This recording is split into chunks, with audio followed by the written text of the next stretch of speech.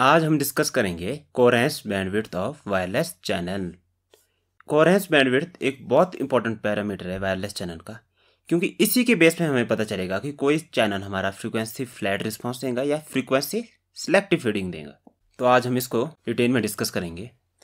हमने पिछले ट्यूटोरियल में देखा था कि अगर हमारा simple duration T S less than होगा सिग्मा टो टी एस क्या है?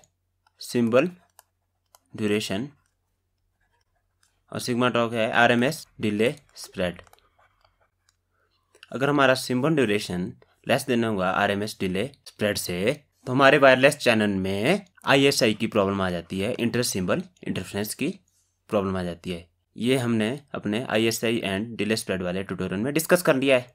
अब इसी चीज़ को हम कुछ इस तरह से भी लिख सकते हैं कि one by T S greater than one by sigma tau इसी को हम इस फॉर्म में भी रिप्रेजेंट कर सकते हैं. और वन बाय टी एस क्या हुआ? सिग्नल बैंडविड्थ सिंबल पीरियड का रेसिप्रोकल ही होता है ना सिग्नल की बैंडविड्थ तो अगर हमारा सिग्नल की bandwidth band B S signal bandwidth को हम बी एस डिनोट कर रहे हैं, अगर हमारी सिग्नल की बैंडविड्थ ग्रेटर देन है सिग्मा टॉ से तो हमारी आई एस आई की प्रॉब्लम आ जाएँगी. और इस पैरामीटर को हम डिफाइन करेंगे वन बाई सिग्मा टॉ को. Coherence bandwidth B C coherence bandwidth तो अगर हमारी सिग्नल की बैंडविड्थ कोरेंस बैंडविड्थ से ज़्यादा होगी तो उस केस में हमारी आईएसआई की प्रॉब्लम आ जाएँगी। तो ये कोरेंस बैंडविड्थ जो पैरामीटर है, ये इसी कंडीशन को फ्रीक्वेंसी डोमेन में रिप्रेजेंट कर रही है। तो ये रिज़ल्ट हमारा टाइम डोमेन के लिए था। टाइम डोमेन इसी कंडीशन को अगर हमने फ्रीक्वेंसी डोमेन में एनालाइज करना है तो ये रिज़ल्ट आएगा। हम इसी चीज़ को अब डिटेल में देखते हैं। ये हमारा वायरलेस चैनल का इम्पल्स रिस्पॉन्स है फ्रीक्वेंसी डोमेन में। तो अगर हम, हमारा इनपुट सिग्नल ये है तो आउटपुट सिग्नल वाई एफ़ है। तो हम थियोरी ऑफ़ एल सिस्टम से जानते हैं कि हम आउटपुट को वाई एफ़ को हम कैसे रिप्रेजेंट कर सकते हैं? Input X F multiplied by impulse response of wireless channel in frequency domain ये हम थ्योरी ऑफ़ एल सिस्टम से जानते हैं। एच एफ़ क्या रिप्रेजेंट कर रहा है इसमें? Impulse response of wireless channel और एक्स एफ़ क्या रिप्रेजेंट कर रहा है? इनपुट सिग्नल और वाई एफ़ क्या रिप्रेजेंट कर रहा है? आउटपुट सिग्नल तो हम आउटपुट को हम ऐसे रिप्रेजेंट कर सकते हैं। तो अगर हम कुछ इस टाइप का सिग्नल ट्रांसमिट कर रहे थे, ये हमारा एक्स एफ़ है। इनपुट सिग्नल के स्पेक्ट्रम को डिनोट कर रहे हैं हम इससे और अगर हमारे चैनल की बैंडविड्थ काफ़ी हाई है इनपुट सिग्नल के स्पेक्ट्रम से, ये क्या हमारा चैनल का रिस्पांस है। तो चैनल का जो बैंडविड्थ है हमारी, जिसको हम कोरेंस बैंडविड्थ भी बोलेंगे कोरेंस बैंडविड्थ बी सी ये काफ़ी हाई है। चैनल की बैंडविड्थ हमारी काफ़ी हाई है। इनपुट सिग्नल की बैंडविड्थ है। ये इतनी सी है और ये काफ़ी ज़्यादा है। ये हमारी बैंडविड्थ ऑफ़ सिग्नल है बी एस और ये हमारी कोरेस बैंडविड्थ है बैंडविड्थ ऑफ़ चैनल तो अगर हम output spectrum Y F plot करना चाहेंगे तो वो क्या आ जाएगा? X F into H F तो वो कुछ इस तरह का आ जाएगा। इन दोनों का मल्टीपल तो इस केस में हमारी कोई डिस्टॉर्शन नहीं होगी, क्योंकि हमारी बैंडविड्थ काफ़ी हाई है comparison to input bandwidth X F तो इस केस में हमारा आउटपुट में कोई डिस्टॉर्शन नहीं होगी okay Y F is equal to X F into H F तो signal will not be distorted in this case तो इस केस में हमारी कोई आईएसआई की प्रॉब्लम नहीं आएँगी इंटर सिंबल इंटरफ्रेंस की प्रॉब्लम नहीं आएँगी क्योंकि हमारी बी एस काफ़ी कम है कोरेंस बैंडविड से। ISI की प्रॉब्लम कब आती है? जब हमारी बी एस ग्रेटर हो। तो इस केस में हमारी बी एस स्मॉलर है बीसी से। तो इस केस में हमारी आई एस आई की प्रॉब्लम नहीं आ रही है, जो कि हमें विजुअलाइज भी हो रहा है कि हमारा सिग्नल डिस्टॉर्ट नहीं होगा। तो इससे नाम दिया जाएगा फ्रिक्वेंसी फ्लैट फेडिंग हमारा रिस्पांस क्या होगा? फ्रीक्वेंसी फ्लैट होगा। हमारा रिस्पांस इंटायर स्पेक्ट्रम के लिए फ्लैट है। तो इसे हम फ्रीक्वेंसी फ्लैट फेडिंग बोलेंगे। हमारी जितनी भी सारी फ्रीक्वेंसी है इनपुट सिग्नल की फ्रीक्वेंसीज वो सेम रेट से फेड होंगी। ऐसा नहीं होगा कि कोई फ्रिक्वेंसी ज़्यादा फेड होगी, कोई कम होगी। सबकी फेडिंग बराबर होंगी, क्योंकि सबके लिए रिस्पॉन्स फ्लैट है चैनल का ओके इस केस में there will be no problem of inter symbol interference और इसी केस को अगर हमने टाइम डोमेन में देखना है तो इस केस में हमारा symbol duration would be greater than sigma tau R M S delay spread okay time domain में ऐसा होगा और फ्रिक्वेंसी डोमेन में bandwidth of channel is greater than bandwidth of input signal B S तो ये frequency flat response को show कर रहा है। हमारी आई की प्रॉब्लम नहीं आ रही है और टाइम डोमेन और फ्रिक्वेंसी डोमेन में ये कंडीशन हमारी। ओके अब इससे अपोजिट कंडीशन देखते हैं कि जिस केस में हमारा बैंडविड्थ ऑफ़ चैनल कम है इनपुट सिग्नल की बैंडविड्थ से, उस केस में क्या होगा? तो अब हम इस केस को डिस्कस करेंगे कि बैंडविड्थ ऑफ़ चैनल हमारी चैनल की बैंडविड्थ लेस देन है? बैंडविड्थ ऑफ़ इनपुट सिग्नल तो उस केस में क्या होगा? तो ये केस है हमारा, इसमें हमारा इनपुट सिग्नल की बैंडविड्थ काफ़ी ग्रेटर है in comparison to bandwidth of channel ये हमारा चैनल को डिनोट कर रहा है। तो हमारी चैनल की बैंडविड्थ इस केस में बी सी कम आ रही है बी एस से ओके तो आउटपुट क्या होगा? दोनों का मल्टीपल होगा। तो हम इन दोनों सिग्नल को मल्टीप्लाई करेंगे आउटपुट निकालने के लिए तो कुछ आउटपुट कुछ इस तरह का आएगा। इन दोनों को मल्टीप्लाई करेंगे हम। तो ये वाले पोर्शन तो गायब भी हो जाएँगे, क्योंकि यहाँ हमारा चैनल आउटपुट दे ही नहीं रहा है। ये वाले पोर्शन गायब हो जाएँगे तो हमारा आउटपुट कुछ इस तरह का आएगा Y F is equal to X F H F तो इस केस में क्या हो रहा है हमारा? हमने भेजा ये था, लेकिन हमारे को पहुँचा ये। तो इस केस में हमारी डिस्टॉर्शन होगी। There will be distortion in this case और हमारा सिग्नल हमारे सिग्नल में इंटर सिंबल इंटरफ्रेंस हो जाएगी। हमारा स्पेक्ट्रम कुछ इस तरह का आएगा और हमारे इस केस में इंटर सिंबल इंटरफ्रेंस की प्रॉब्लम आएँगी ओके तो इसी टाइप के रिस्पांस को हम बोलेंगे फ्रीक्वेंसी सिलेक्टिव रिस्पांस और frequency selective fading frequency selective fading क्यों बोल रहे हैं? क्योंकि कुछ फ्रिक्वेंसी फेड हो रही है, कुछ नहीं हो रही। अब ये वाली फ्रिक्वेंसी बिल्कुल ही फेड होगी। और ये वाली फ्रिक्वेंसी जो इस बैंडविड्थ के अंदर वाली फ्रिक्वेंसी थी वो कम फेड हुई। तो फ्रिक्वेंसी सिलेक्टिव फेडिंग बोला जाएगा इस चीज़ को, क्योंकि फ्रिक्वेंसी हमारी सिलेक्टिवली फेड होंगी और इस केस में हमारी आईएसआई की प्रॉब्लम आएँगी। और इसी चीज़ को अगर हमने टाइम डोमेन में एनालाइज करना है तो टाइम डोमेन में ये केस है हमारा symbol duration is less than sigma tau R M S delay spread तो मेरा आप delay spread and I S I वाला ट्यूटोरियल देखो। वहाँ मैंने देखा था कि कैसे सिंबल ड्यूरेशन अगर R M S delay spread से कम होगा तो हमारी आई एस आई की प्रॉब्लम आ जाती है। और हमें फ्रीक्वेंसी डोमेन में भी ये चीज़ विजुअलाइज हो रही है यहाँ पे। तो हम समराइज करें इस चीज़ को। तो हम स्मॉल स्केल फेडिंग को टाइम डिले स्प्रेड के बेस पे कैसे डिफाइन कर सकते हैं? दो टाइप में डिफाइन कर सकते हैं। ये सारी प्रॉब्लम क्यों आ रही है? डिले स्प्रेड की वजह से आ रही है। तो डिले स्प्रेड के बेस पे हम फेडिंग को कैसे कैटेगराइज कर सकते हैं? दो कैटेगरी में कैटेगराइज कर सकते हैं। एक हमारी फ्रीक्वेंसी फ्लैट फेडिंग और दूसरी फ्रीक्वेंसी सिलेक्टिव फेडिंग ओके ये प्रॉब्लम किस वजह से आ रही है? डिले स्प्रेड की वजह से आ रही है। तो डिले स्प्रेड के बेस पे ये कैटेगराइजेशन ओके तो फ्लैट फीडिंग में हमारी क्या क्या कंडीशन है?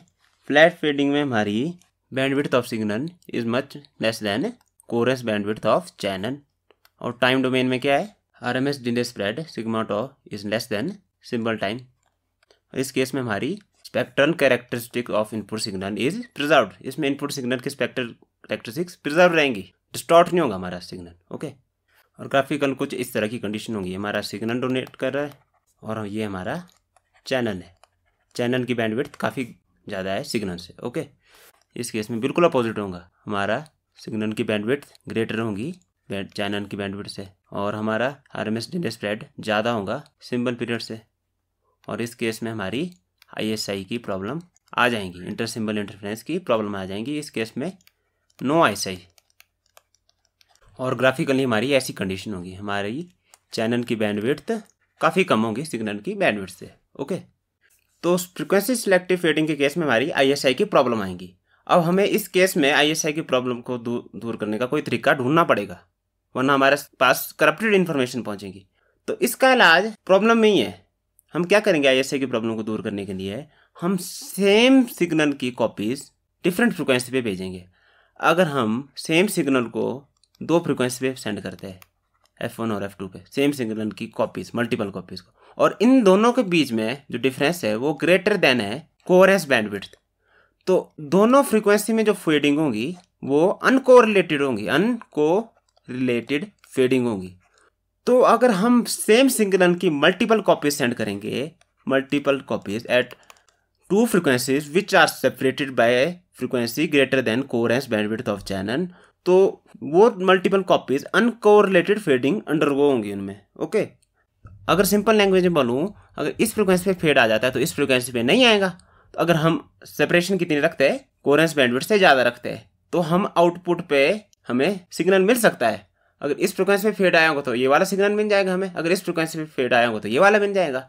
इसी चीज़ को हम बोलते हैं frequency diversity technique frequency diversity technique तो हम आईएसआई की प्रॉब्लम को इस तरह से दूर कर सकते हैं। हम दो फ्रिक्वेंसी पे सेम डाटा ट्रांसमिट करेंगे separated by greater than coherence bandwidth इसी प्रिंसिपल को हम बोलते हैं फ्रिक्वेंसी डाइवर्सिटी प्रिंसिपल और फ्रिक्वेंसी डाइवर्सिटी टेक्निक तो इस प्रॉब्लम को हम दूर किया जा सकता है, इन्हीं कंडीशन को यूटिलाइज करके ओके और एक इंपॉर्टेंट बात है, हमने कोरेंस बैंडविड्थ को ऐसे डिफाइन किया वन अपॉन सिग्माटो तो ये स्टैंडर्ड डेफिनेशन है कोरेंस बैंडविड्थ की। हम कोरेंस बैंडविड्थ को ऐसे भी डिफाइन कर सकते हैं B C is equal to one upon five sigma tau और ऐसे भी डिफाइन कर सकते हैं वन ओवर फिफ्टी सिग्माटो तो ये डिपेंड करेगा कि हम फ्रीक्वेंसी कोरिलेशन कितना रख रहे हैं। इस केस में हम frequency correlation zero point five रख रहे हैं। और इस केस में हम फ्रीक्वेंसी कोरिलेशन ज़्यादा कर दे रहे ज़ीरो पॉइंट नाइन तो जितने ज़्यादा हम फ्रीक्वेंसी कोरिलेशन रखेंगे, हमारी कोवरेंस बैंडविड्थ तो उतनी कम आएँगी।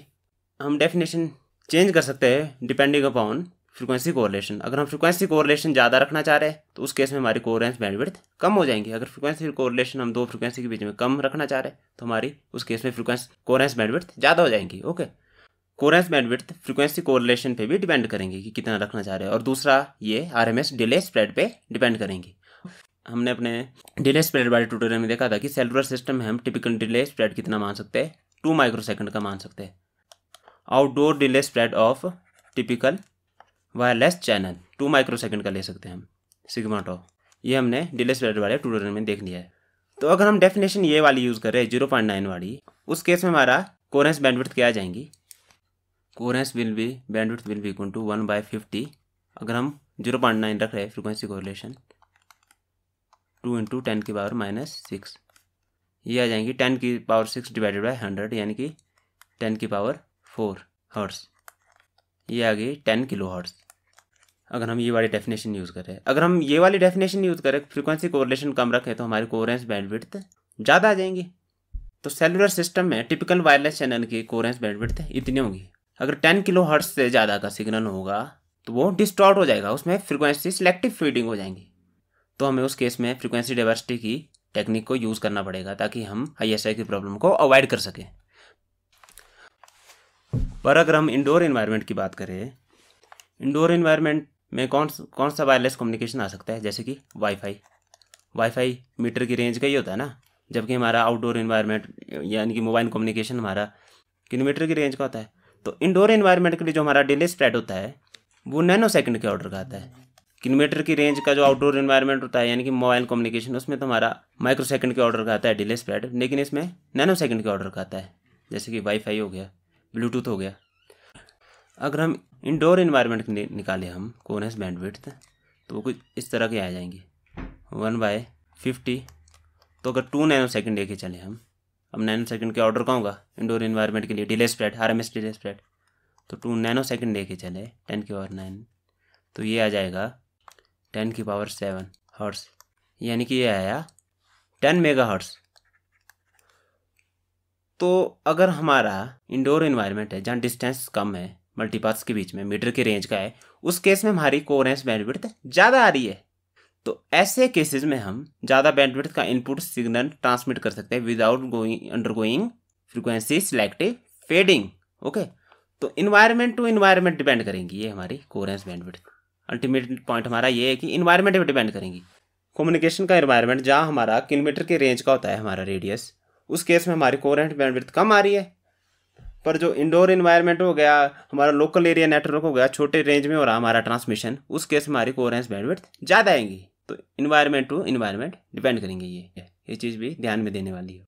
तो आई होप आपको आज ढंग से समझ आ गया होगा कि कोरेंस बैंडविड्थ होती क्या है, इसके फ़िज़िकल मायने क्या है।